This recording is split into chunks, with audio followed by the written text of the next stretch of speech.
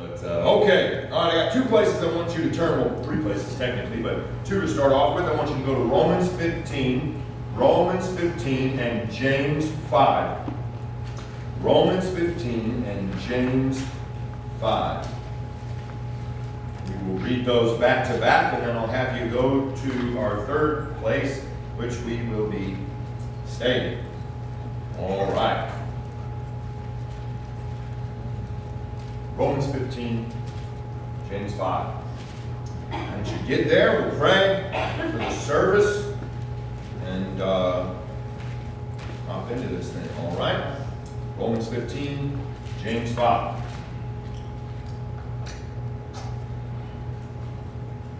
Brother Jeff Fisher just texted me, so he's, uh, or pray for them, they're up in Michigan.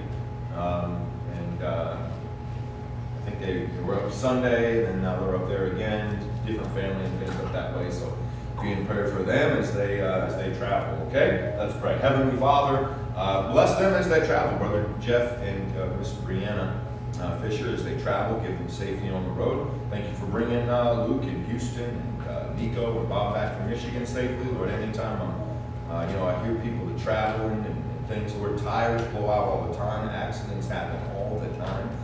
Lord, not that we should walk around all worried and, and uh, wringing our hands, uh, but Lord, we should remember what James and the rest of Scripture teaches that life is brief and life happens so quickly, it's so fragile.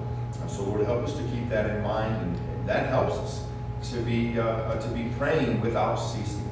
And then, Heavenly Father, I ask that you bless tonight the folks that are here tonight uh, that have showed up, that um, worked all day and did whatever they had to, and, and they managed life and they, got here. Lord, I'd ask that you would help us in your word tonight, uh, that we may grow uh, in, in our knowledge of your word and be closer to Jesus. We ask these things in Jesus' name.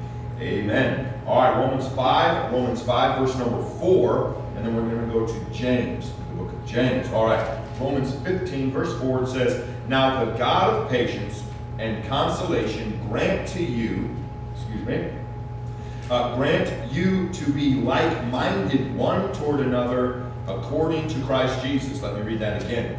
Now the God of all patience, now you're going to need to remember that word, patience. The God of all patience and consolation grant you to be like-minded one toward another according to Christ Jesus. All right, go to James chapter 5. James chapter 5. Yes. Romans 15, 4. No, Romans verse 15, five. Romans fifteen, verse five. All right, You said- Romans, you go to Romans 15. You said verse four, but verse five is right next to it, so it's kind of easy to find. Gotcha. You did say Romans. I, I apologize. All right, so Romans 15, 4 and 5. There you go.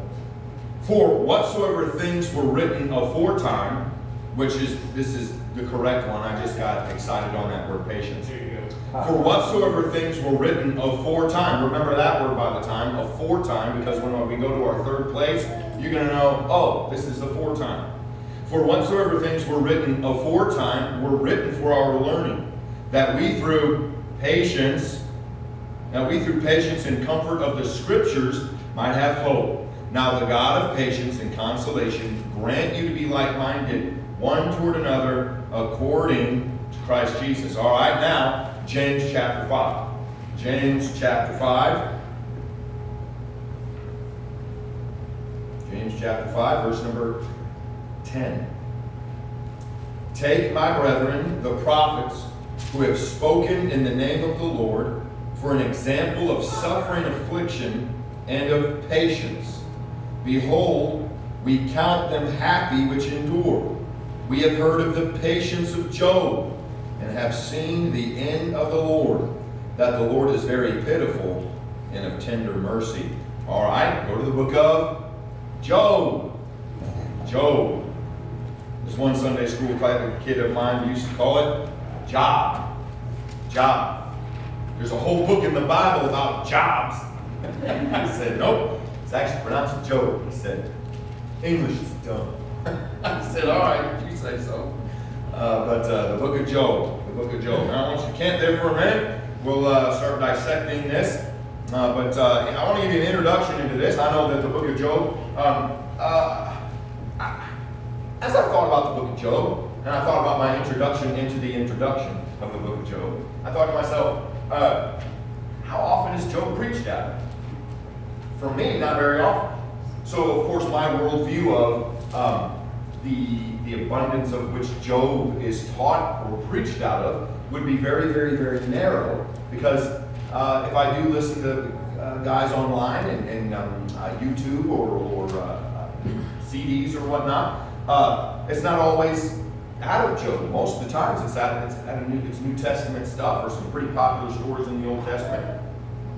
But Job, I, I haven't heard a lot of deep diving into Job. I know over the years at church here we, we have. Uh, Pastor Jackson was usually pretty thorough uh, with uh, becoming familiar with the book. But when I was a kid, um, and we would read our Bibles through every year. We had Bible reading charts, and we'd read our Bibles through um, in the year. That was the goal. And uh, I always dreaded, dreaded getting to certain places in the Bible because I was a kid. I didn't know what was, I didn't know what was saying. I didn't know what was talking about. Uh, I remember at one time in family devotions, though, we were kind of going around um, the room there talking about favorite books and di- difficult books. And uh, I said, I don't like the book of Job. Job. From a, whatever, a 10, 11, 12 year old boy's mind, Job. Job. And I said, all he does is complain the whole time. I had no clue. I had no clue. And now, uh, now that I've grown up, I, I, I see it. I can understand reading comprehensions a little bit more in tune. I kind of understand and follow the story a little better. But the book of Job has been long praised. It's been praised for quite some time um, to many people uh, that had better reading composition comprehension than I did at the time. But as um, some folks say, it's almost a masterpiece of literature. A masterpiece of literature. Uh, one fellow said that tomorrow, if all literature was to be destroyed, and it was left to me to retain one work only, he said, I should save Job. Wow. I want to know what he's getting out of that book. I want to know what he sees. I want to know. Uh, the greatest poem, whether ancient or modern literature, said Tennyson about Job. The book of Job, uh, Daniel Webster said, the book of Job, taken as a mere work of literary genius, is one of the most powerful productions of any age or of any language. Well, uh, seeing how Job gets some high praise and it has been canonized as scripture, it's a part of the Bible.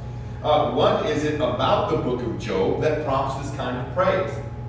What is it this that what is it about the book of Job that uh, people uh, uh, love so dearly? Uh, a lot of Christians I know don't really feel that way about the book of Job. It, it, honestly, the book of Job just kind of goes under the radar. Uh, if we were to ask favorite books of the Bible, uh, I immediately I would say, uh, for me personally, uh, Psalms and Acts. Psalms and Acts.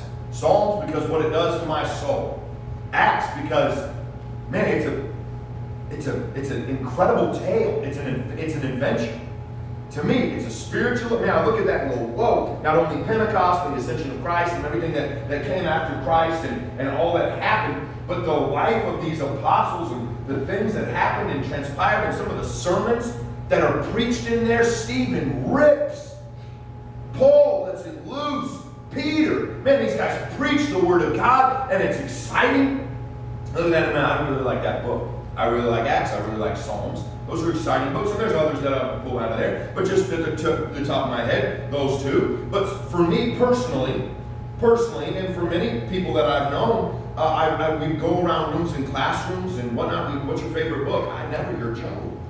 Job. Well, well, well I, I think maybe, maybe it's perhaps because it. I think many people tend to neglect, and we should not let this be said about us. If you have a, a, a, a, Bible, a King James Bible, and it's got 60, it has 66 books in it, you should be familiar with all 66. You shouldn't say, well, we're New Testament Christians, we really don't pay attention to the Old Testament.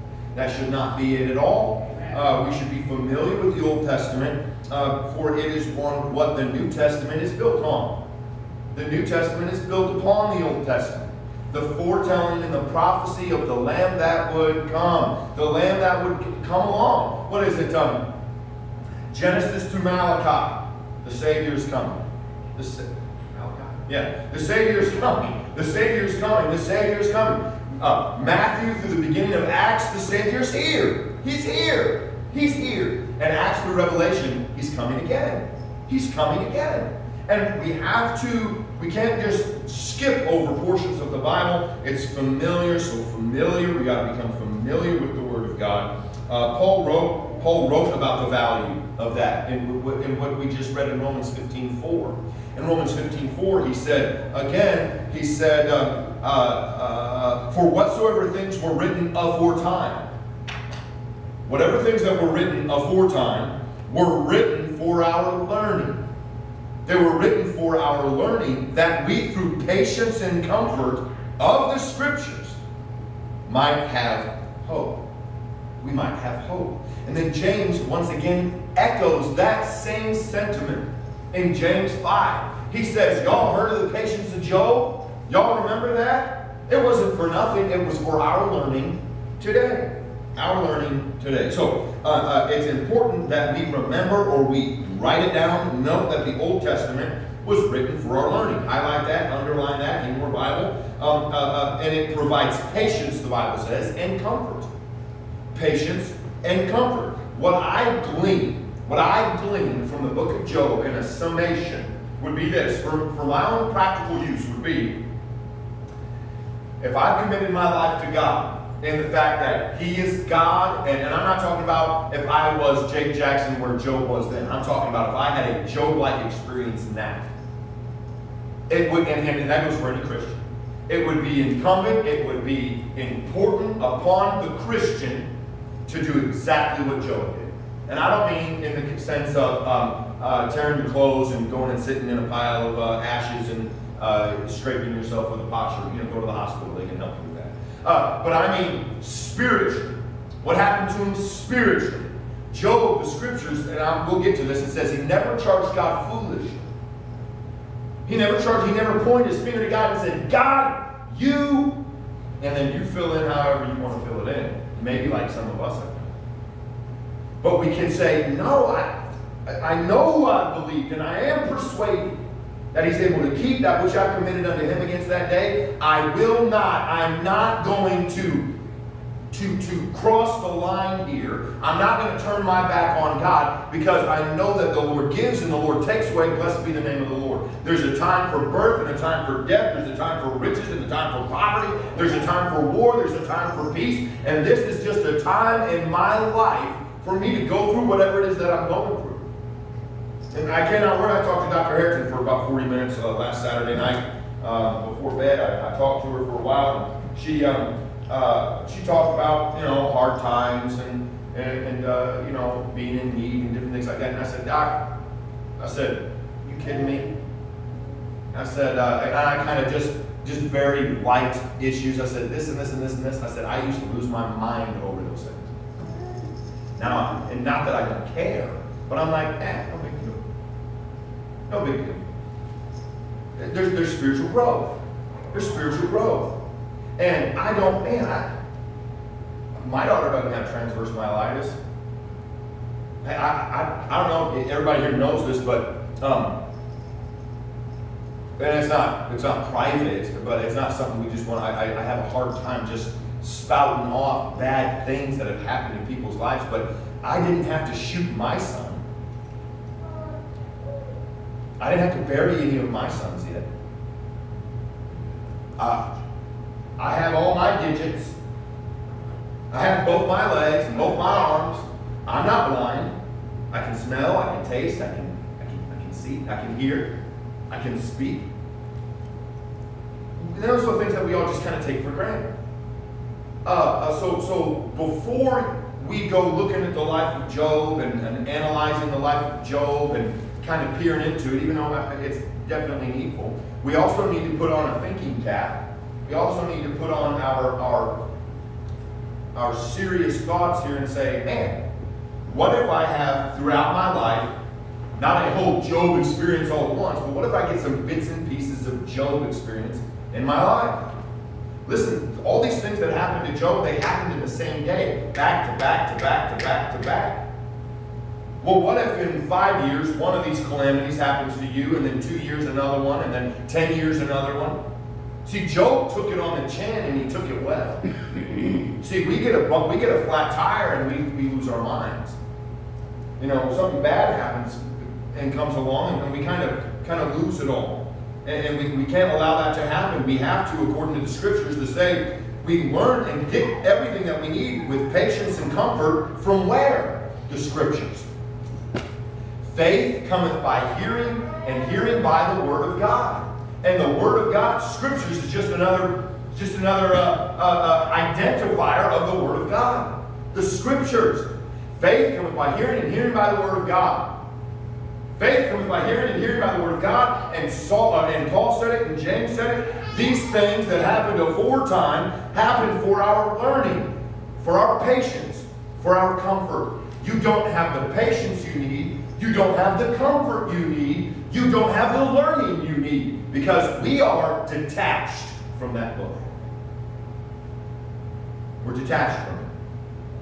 Now, you, I, I, if you're like me, you get up in the morning, you're like, oh, I know I need to read it. I know I need to read it. And then you didn't read it. You go throughout your day going, I know I need to read it. I know I need to read it. I know I need to read it. I know I need to read it. You know, when our stomach tells us that we're hungry, and it growls and it rumbles, you know what we do? We listen. You go, I need to eat something. I need to eat something. Same thing when we're thirsty. When we're thirsty, we need to quench it. We need to quench it. Same thing when we're cold. Man, I'm cold. Man, I'm cold. Goodness, I'm cold. You know what you need to do? You need to find someone to warm. Vice versa, hot cold. You need to cool off. You need to warm up. We listen and obey those things of our body. Why is it? Listen, we've been told we're new. You're a new creature. You've been born again. You have a new spirit, a new man inside of you. And he doesn't care for the flesh, he cares for the things of the spirit. And yet we starve that new man. We freeze out that old man. And we, or that new man. And we let that new man sweat. And we don't give in. We don't obey the necessities of the Spirit. It's vital. It's vital that we make this Bible, we make the Word of God a, a, part of our day and a part of our life each and every uh, each and every uh, uh, moment of our of our uh, existence. So, because the book of Job, uh, in, in, to, in, in my understanding, has been uh, neglected, uh, or just kind of we just kind of read through it and we never dig into it. Um, and kind of neglected, it presents though valuable lessons. See, when James said, when James said, "Ye have heard of the patience of Job," he didn't say Noah, he didn't say Elijah, he didn't say Elisha, he didn't say Abraham, he didn't say Sarah, he said Job. That right there is putting emphasis. Hey, if, if somebody else is, is making mention of somebody from the Old Testament, I want I might want to go check that out. I might want to go check it out. So we we should uh, uh, dive into that. So Christians, we should certainly take time to study to study this portion. Now, um, there's all kinds of questions that to be asked, and maybe you wouldn't think to ask them, and I wouldn't necessarily even have know how to go about answering all of them. Um, uh, but the place of Job in the Old Testament, where does that stand? How does that how does that add? You know, where does that um, how does he add up to Abraham? How does Job add up to Genesis? Well, Job is the first of um, five books commonly known as poetry. Poetry, and that's Job, Psalms, Proverbs, Ecclesiastes, Song of Solomon. Um, uh, and it's um, called as such because they're written in a poetic, a poetic style. A poetic style, uh, which is just a contrast, if you will, to other books. Uh, they're often referred to as um, the literature of wisdom. Literature of wisdom. Um, and uh, one person put it this way Job, how to suffer. Psalms, how to pray. Proverbs, how to act or behave. Ecclesiastes, how to enjoy. And Song of Solomon, how to love. So the poems, the, these poems, these five books, Job, Psalm, Proverbs, Ecclesiastes, and Song of Solomon, are the poetry of how to. How to. How to suffer, how to pray, how to act, how to enjoy, and how to love. How to love. Now, um, I, I know this is the introduction, but because I have no solid no solid, backed up, for sure, uh, uh, answers of who, who wrote the book of Job. Well, some say Job. Some say Moses. Some say, oh, who else do I have written down here? Oh, um, uh, Baruch, who was a, um, a scribe of Jeremiah. Um, Hezekiah, Solomon, Elihu, Isaiah, uh, all these different people. Who, who wrote it? Who wrote it? Who wrote it? I don't know. When was it written? Well, some say that uh, he could have been a contemporary of Abraham during Abraham's time. We do know that it is one of the most ancient, one of the oldest books in the Bible, according to these um, uh, these sources of its style and uh, certain references made in it. Um, but some folks say it was written before Moses, around pre 1500 BC. Others say that oh, it was around the time of Solomon, which is 900 BC. I don't I don't take to that much. But um, uh, uh, and some even say it's as late as the Babylonian exile, uh, which you'd say I don't even know when that was. So, Brother Jackson, we really don't care. Uh, we don't we don't care that it, who wrote it and when it was written, as much as we do want to know what are we supposed to learn from it. What patience are we supposed to pull from it? What comfort are we supposed to get from it? What is the lesson of this book in the Bible that we're supposed to get? Uh, well, what is the purpose of this book? And uh, I believe it's common to suggest that the purpose of the book is to answer this age old question that is still asked to this very day Why does God allow good people to suffer? Why does God allow good people or righteous people to suffer? And that's that's certainly a good question, and I believe that's the question that Job raises here. If you read about the, the character and the testimony of Job, hey, there's no man like Job in the land. Job's the cream of the crop. He's got the big family.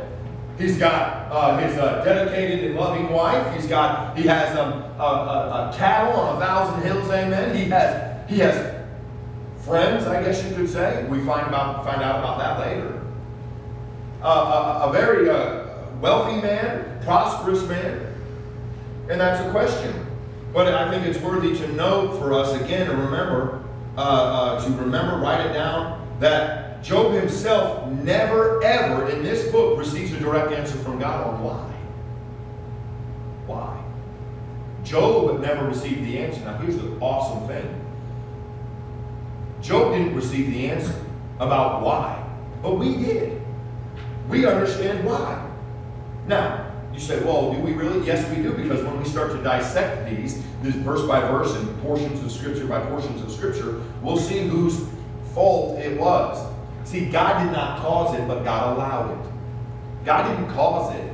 He didn't cause cancer, but He allowed it. He didn't cause drug addiction, but He allowed it. He didn't cause um, a broken home and violence, but He allowed it. He allowed it. Why did, well, that doesn't make sense. Why would He allow it? Oh, well, it's this thing called, and I, I, this is a, this is usually a, uh, a an un, unmanageable uh, situation, unmanageable topic because it can run wild. But two words called free will, or if you will, liberty. Liberty. You are free to do what you would like to do, not free from your consequences. Yeah, that's right. You're not free from your consequences. Right. Now, why does why does God allow the righteous to suffer? Or why does God allow good things or bad things to happen to, to good people? Uh, again, Job never gets an answer on that. We don't necessarily even have the, the full scope of the answer. Um, uh, so, so other than that, we, it brings us to Satan's challenge. It brings us to a challenge by Satan. Um, and he says, uh, and we're not going to go there yet, but, but we will in verse number 9 of chapter 1. Then Satan answered the Lord and said, Doth Job fear God for naught? Doth Job fear God for naught? And for naught means for nothing. Does he fear you for nothing? He's got nothing to fear from you. You got him protected. He has nothing to fear. You, you, you got him all hemmed up. You got a hedge about him. And so Satan challenged, uh, the, the challenge of Satan, and God allows Job to suffer in answer to the challenge. See, Job was just collateral damage. Job was just the, the, um, the subject matter of a challenge between God and between Satan and God. Job was just caught in the middle. But here's the wonderful thing. Here's the wonderful thing. Uh, and I'm kind of bypassing some things. But Job, yes, he's kind of like just that, that, that collateral damage. He's just caught in the middle between the volley between Satan and God and back and forth and whatnot. And, and uh, uh, Job, trusting in God, here's the wonderful thing about God God can make these dead, dry bones preach again. God can take a, a, a life that's ruined, a life that's been wrecked, a life that's been full of bad decisions, and the moment that that individual has understood their error, has said, man, did I mess that whole thing up? They can turn back to God and have that, from Sunday's message, that reconciliation. But it's a whole lot better to never leave home in the first place. It's a whole lot better to be thrashed by Satan and say, hey, do your worst. The worst you can do is kill me. Worst you can kill me. Yeah, you already killed my family. You've ruined my body with these boils and sores. You killed all my wealth. You killed all my prosperity. You killed off my popularity. People walk by me now and they sneer. People walk by me and they go, ah. I can hear some people, they pity me. And then there are others who point their finger at me and say, we knew he was faking it the whole time. Listen, people didn't just start coming out of the woodwork. No. They started coming out of the woodwork, but there were haters in the woodwork before they ever started coming out. There always will be. There always will be. Uh, if you lead from the front, somebody will always be criticizing you from behind. And if you're in the middle of the pack, somebody behind you will be criticizing you from there. It doesn't matter where you are, if you're striving for success and prosperity and there's blessing on your life, somebody somewhere is going to look at you sort of funny and judge you uh, unrighteously. And then there will be others who are for you, rooting for you, yeah, proud of you. And when you fall down flat on your face, you're going to hope, you're going to hope somebody's there to be like, hey man, I've been where you are. Come on, let's go. Get up and we can do it again. Don't worry about it. You say, yeah, but you don't know how I fell or where I fell or the style in which I fell. You don't know what I've done. Oh, I don't even know what you've done. Even if it's broadcast for everybody to know. He knows what you did. And if he's forgiven you, who am I to not forgive? You? Sidebar. All right. The purpose of the book. The purpose of the book uh, is, is not, and this is the way I look at it, is not why does God allow the righteous to suffer or why do good bad things happen to good people. I, I look at it and I ask this question. How, how should the righteous suffer? Not why. We are partakers with Christ. We, we are living behind enemy lines, folks. We, we right now, at this very moment, if you are a born again Christian, you are blood bought, washed in the blood of the Lamb, you can say, I remember the day when the Lord saved me. And you can say, um, it was on a Sunday, somebody touched me. It was on a Sunday, somebody, amen. And yes, it must have been the hand of the Lord. And you can say, I know, I know that I know that if I died today, I'd go to heaven because what Jesus Christ did for me on the cross, and I believed him, I put my faith and trust in him, and I'm clinging to that old rugged cross. Great. Now you're in for it. Say, what do you mean I'm in for? Well, now, now you, you, you, you, you have God against you. God says there is no condemnation to them that are, uh, um, there is therefore no condemnation to them that are in Christ Jesus. But they are, uh, but I'm mixing these verses here, but they that believe not are condemned already. They that believe aren't condemned, they that believe not are condemned already. You're, one way, you got to pick, pick who you're going to fight against. And you join Team Jesus, that's cool, that's great. But it's a battlefield, brother, not a recreation room. It's a fight. It's a war. It's not a game. So you can run from it and, and, and, and, hide from it and go live with the world and kind of blend in. Or you can try to stand up and do something for Jesus. And that was the life of Job. Job was an honest man. He, had a man he was a man of integrity, ethics, business sense. I believe he dealt right and fairly with everybody. And, and uh, uh, he was, from what we understand, a godly man. God had put a hedge about him. He put a hedge about him so you can live for God. You say, man, if Job was the, I mean, the best man in the, in the earth that they knew of, and Satan still thrashed on him like that, what does that do for me? Well, first of all, uh, I don't think there are a whole lot of people who probably have the godliness that Job had. Now, I'm not trying to, I'm not casting a judgment on anybody, but I, I'll, I'll strive to be a Job. We got to strive to be a, a Job in the sense of And does the devil even take interest in you at all? Now, on a, on a, on a logical basis, I don't want the devil taking notice of me. I don't want the devil to be like, hey, you see what that, see what Doug Jackson said? I thought we took care of that Doug Jackson guy. Now we got another one to deal with. I don't, I don't want it. I don't want that. And that is why I'm becoming more and more in love with the book of Job.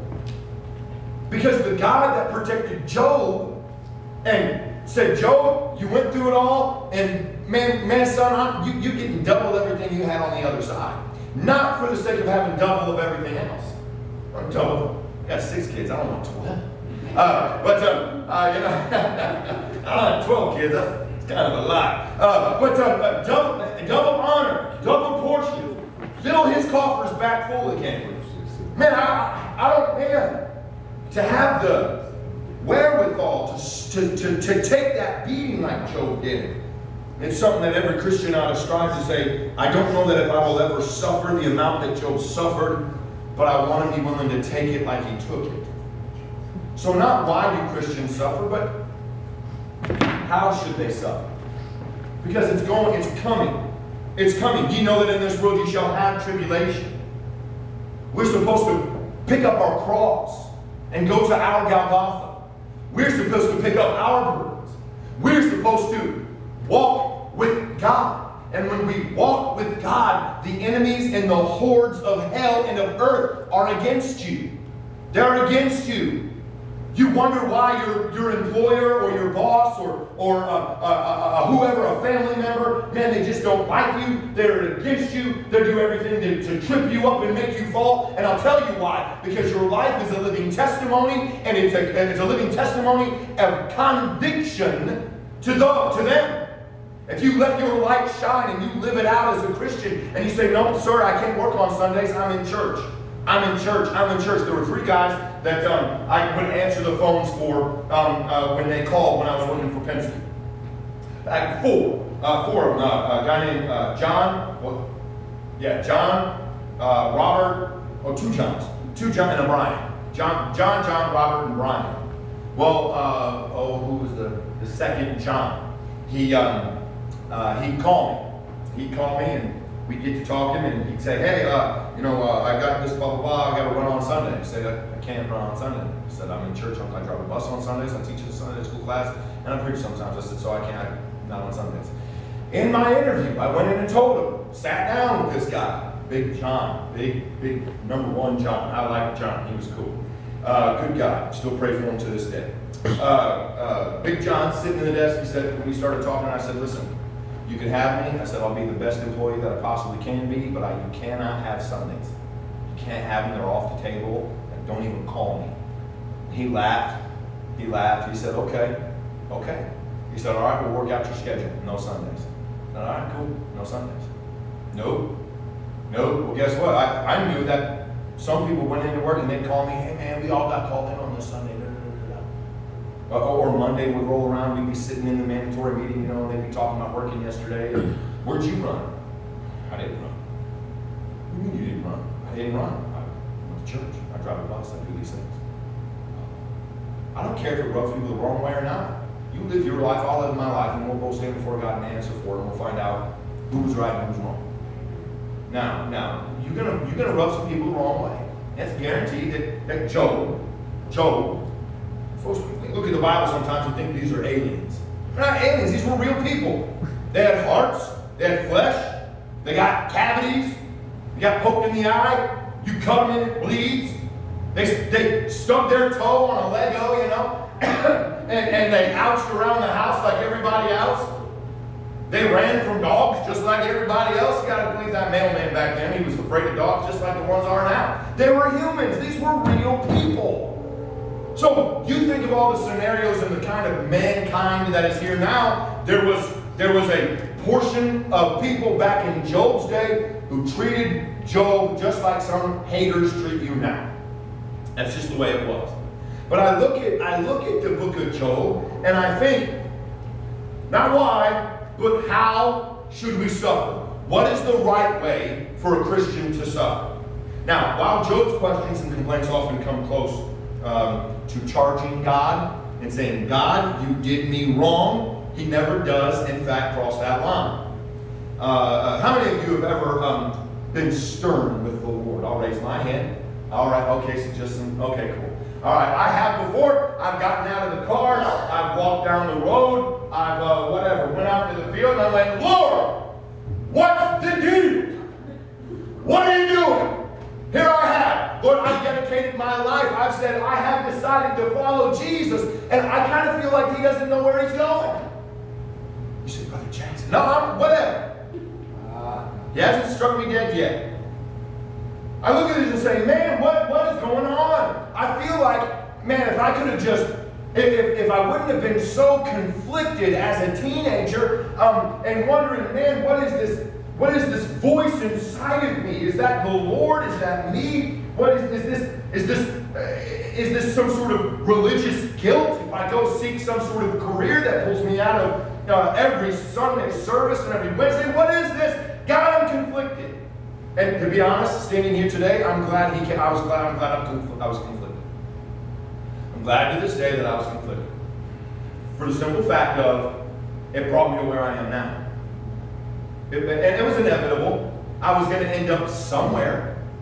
You were going to end up somewhere, but it's better to be down a somewhat of a destitute road and broke with Jesus and with God than it would to be have your pockets full and, and everything you need in life and, and not be with the Lord and not have the and not have him uh, uh, uh, man, what an incredible testimony that God said, yeah, say you go ahead and mess with Job. That bet you he doesn't turn on me. What a testimony. What a testimony. And here I am, I get a little splinter, so to speak, and I go to God, whack. God's like, come on, Jackson, yeah, boo hoo. get with it. Come on now. Uh, uh, and, and I'm not saying I want to ever get to the point where Satan goes to God and says, hey, uh, that Jake guy, I bet he'd curse your name if you did some of this to him. I don't want God to ever sit there and go, man, Satan, you're probably right. Jake would react this way, wouldn't he? I don't want Satan to ever be right. Ever be right and God to confirm it when it has anything to do with my loyalty to God. Now I stand here today and I say, man, I want to, I, I would die for Christ. I would die for God. When the real test of that is, would you live for Him? If you if you live for Him, you probably die for Him. You, you, you, you might lay down your life for the Lord, physically. But if you don't lay down your life for the Lord, you'd never be willing to take a bullet for Him. You'd never be willing to put your head on the chopping block for Him. I'm not saying Job was willing, but Job was conflicted and confused in here. He said, Man, what's going on? What is the deal with this? So, so some of the lessons I pull from, from the book of Job is, is, is this, and, and, and we'll hop into it. I, I, I have, we're going to go to chapter one and, and um, uh, just briefly in chapter two very quickly. I'm going to give you three quick things. Three quick things. Um, and then we'll continue it next week. So the book of Job, the book of Job. Um, uh, the book defends the absolute glory and perfection of God. Now, when I say that, I'm saying it sets forth a theme, a theme that's echoed in Psalm 18, where it says, I'll call upon the Lord who is worthy to be praised. I'll call upon the Lord who's worthy to be praised. And that's what Job did.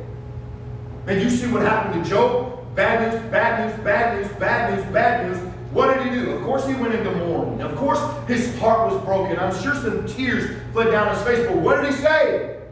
The Lord gives and the Lord takes away. Blessed be the name of the Lord. Blessed be the name of the Lord. Blessed be the name of the Lord. Now, I, you're going to have to take a step back in life. And here you are driving around, you, you're driving a Beamer now. You just watch out when you're driving that 1997 Grand Caravan that breaks down out 10 sold. Oh man, you got you you you, uh, you got that job now, pays real well now. Well, what about when you don't have that job and you're kind of wondering, man, how am I going to pay this and how am I going to get that done? Life life is not all about ascension. It's about ascension and falling down, and ascension and falling down, and ascension and falling down. And that, that's just the ebb and flow of life. It's what happens. And if you can praise God, real spirituality is praising God in the valley like you can praise Him on the mountaintop. Can you praise Him in the valley like you praise Him on the mountaintop? And, and, and if you can do that, that's a wonderful thing, and you should teach others also and be that, be that shoulder for people to lean on uh, as you continue to, to help and nourish the spirituality of other Christians. God is deserving of our praise simply on the basis of who He is. God is worthy of our praise, not because I have two eyes to see, not because I have all my faculties, not because I have healthy children and a wife of 16 years, not because I'm a pastor of a church, even though I thank the Lord for all those things. The Lord is to be praised simply because of who He is. I remember talking to a Christian in the back of the auditorium one time, and they said, That doesn't really do it for me. I said, It Doesn't matter. Doesn't matter if you like it or not.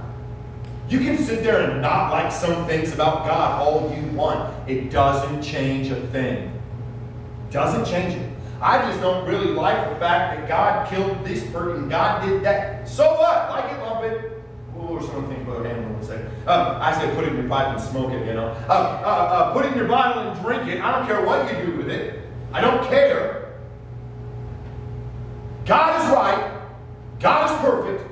Man is imperfect. God is infallible. Man is fallible. God is infinite. Man is finite. God is all knowing. Man is limited. It's okay that you don't like some of the things that God has done or, or some things that He went about doing. Sure, my dad didn't like it when his, his father what, passed away at 54, 52. Passed away at 52. Mom passed away. I mean, kind of grew up pretty much on his own after, I mean, wife, kids, the family was spread apart the country. They weren't like super tight knit. Kind of on his own. Some of you have been through things. Look at Job. Job wasn't like, yeah, this is wonderful. No, Job, was, what, what is going on? What is happening? You've got some things that are going on in your life that you say, what is happening? Heavenly Father, show me the way. Show me the way. No matter how you feel about it, no matter how you feel, God is to be praised just on the basis of who He is alone and apart from the blessing that He gives us. So Satan denied that, though. Satan denied it. God is to be praised without any blessings. But Satan says this. He says in chapter 1, verse number 9, Then Satan answered the Lord and said, "Jump, Job, fear God for naught? Hast thou not made a hedge about him, and about his house, and about all that he hath on every side?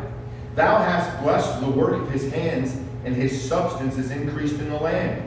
But put forth thine hand now, and touch all that he hath, and he will curse thee to thy face. See, there it is again. Satan. Remember over in Genesis 1? Eve said, uh, the Lord said, you know, no. And what did Job say? Uh, half the Lord said, half the Lord said. And same here in this instance. It wasn't about the Lord this time, really, it was about Job, but Job was a righteous man. Job was a man that God believed in. Job was a man that God sort of counted on, if you will. And he said, Satan denied that whole fact about praising the Lord despite the blessings. But here's the wonderful thing about this that Job, or that Satan denied that fact, but Job proved Satan wrong. Look at verse number 20. Verse number 20. Then Job arose and rent his mantle and shaved his head and fell down upon the ground and worshipped. And said, Naked came I out of my mother's womb, and naked I shall return thither. The Lord gave, the Lord hath taken away. Blessed be the name of the Lord. In all this Job sinned not, nor charged God foolishly. Now look at chapter 2, verse number 10. But he said unto her, this is his wife said, Curse, she said, Job, man, you retain thine integrity, just curse God and die. And he said unto her, But that thou speakest as one of the foolish women speaketh. What? Shall we receive good at the hand of God, and shall we not receive evil? And all this did not Job sin with his lips. Now let me ask you, well, I'll, I'll kind of tell you. If God is the ruler and maker and controller of all, and he is, and we are his, doesn't he get a right? Doesn't God retain the authority to say, You know what? I think you could serve me a whole lot better with one less leg. I think you could serve me a whole lot better if you lost it all. Maybe bring you back to where you need to be. You could serve me a whole lot better if you go through this hardship. Not only could you serve me better, but you could understand me better. You can know me better. You'd really have to, well, no, that's a bad joke, never mind. Uh, dark humor, I was going to say with one less leg, you really have to lean on the Lord. So cool. Does everybody in this room have both their legs? Okay, good. Uh, listen, we've had people, listen, I can name three people right now that came to this church, and they're good people, good people, and they've lost their legs. And I know, I know two of them would laugh at it. I don't know about the third. Uh, I didn't know her that well. Um, and Dad, you, you know her. She was dating a fella of a family that used to come here. They had a child together. Yeah, okay. Uh, the other two, the other fellow was um, uh, brother Tim, and the other one was brother Dan. Um, do what? Dan Keys. Yeah, that's Dan Keys, brother Dan Keys. Um, but um, he probably beat me up after the service, though. Uh, but but regardless, regardless, uh, again, uh, this hardship. God says, man, this hardship comes into your life. I reserve the right to move you on the chessboard how I want to. Who are we to fight against? He, he, he has your best interest in mind. The only reason why we feel contrary to that is because we're trying to serve our self-interests and not His. Yeah. The only way we, the only reason why we get mad at God for when bad things happen in our life is because our plan was different than His. And because we look at it and say, God, why don't you get with my program? And God says, I will when you get with my program. I'll hook you up when you hook me up. I'll help you out when you help me out. That's draw nigh to me and, and draw nigh to God, and He shall draw nigh to you. Number one, uh, uh, uh, uh, the book, the book of Job, it defends the absolute glory and perfection of God. Number two, the question of suffering is addressed. Why do we suffer? Why do we suffer? Who causes it? Why doesn't God do something about it? Uh, not all these questions can be answered. They can. uh, How many times people in this room you've you've done counseling, or or um, uh, maybe just trying to help a friend, and they ask you that. They say, "Who? Why do we suffer? Why does this happen? Who caused it? Who's at fault? And why doesn't God intervene and do something about it?" Not all these questions can be answered, but some points can be made. Some points can be made. All right, write these. Write this down if you're writing them down. If you're listening, if you're listening, listen closely. Very, I'm going to give them to you. Uh, uh, one, two, three. All right. Number one, man is unable. Man is unable to uh, bring a conclusion. Bring a conclusion to human existence and its suffering. I know it's wordy, so put that how you like it. But man is unable to come to a conclusion on human existence and its suffering. It's, I said it at the beginning, it's an age old question. They'll keep asking it. Why, why, why? Number two, suffering is not always a result of personal sin. Suffering is not always a result of personal sin. Get that now. You think, man, am I going through this because I, I did something wrong? That could be the case. Is that a possibility? Sure. Yes, it is. Hit your thumb with a hammer, you'll find out. Consequences really quick. Consequences really quick. Sometimes it is, but not all times. And the moment you do that, you begin to beat yourself up and, and get a spirit of fear and a failure and a flop. And that's not the case at all. When God is patient and kind. Suffering, number one, man can't give a summary of human existence and suffering. Number two, suffering is not always a result of personal sin. And number three, suffering may be allowed as a complement to your spirituality. Suffering may be allowed as a complement to your spirituality. You say, what? Suffering's a, a compliment? Man, you go come up and slap me in the face and say, man, I just want to let you know you look sharp today. I'm gonna be like, wait, wait, wait, what? What just happened? I was assaulted and then compliment? No, the assault is the compliment. You say that doesn't make any sense. That's hard to come to a understanding of. As I said earlier, when Job came, or when Satan came to God and said, and said, hey, you're blessing Job, you're helping Job. He's got no reason to fear. Take everything away from him and he'll curse you to your- face. And God said, no, he won't. Or at least, well, let's find out if he will or not. Let, let's see if he, if he will or not. Now, I wonder, I wonder, tonight, as we sit here, has Satan and God ever had a conversation about you?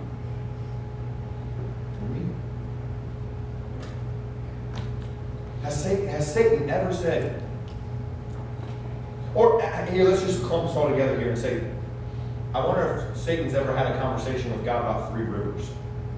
Because there we go. That's a commonality that we all have. Yes, we're all saved, but a common place, a common thing. Has Satan ever said, Lord, have you ever considered three rivers? And God said, Yeah, well, what about them? He said, Well, you, you gave him that maniac preacher, Doug Jackson, who's, who, who's, you know, if, that, if anybody could set hell on fire, it would be him and three rivers. Uh, and we're doing it in Fort Wayne. We've been doing it in Fort Wayne, and God said, All right, well, let's see what you got for me. You can, you can do everything you want besides kill him. And then what Satan come along and do? It's all history. But were we did we ever did we ever curse God? And I don't mean, you know, cuss him. But I, I, I can't tell you how many times I stood out there talking with my sister Sarah. We were the only Jacksons here. My mom was sick and taking care of dad, and dad was sick all the time, and Jesse was gone, and Ben was gone, and Teresa was gone, and everybody. Sarah and I stood out there all the time, and we thought, what's happening? What are we going to do? And I would always feel bad when we would leave on a, on a note of, dis, of being distraught. So the next time it came around, we were standing outside, it was either Wednesday or Sunday, and I said, well, let's pray. Let's just pray. After we got done complaining and venting to one another, I said, let's pray. And we prayed. And we prayed.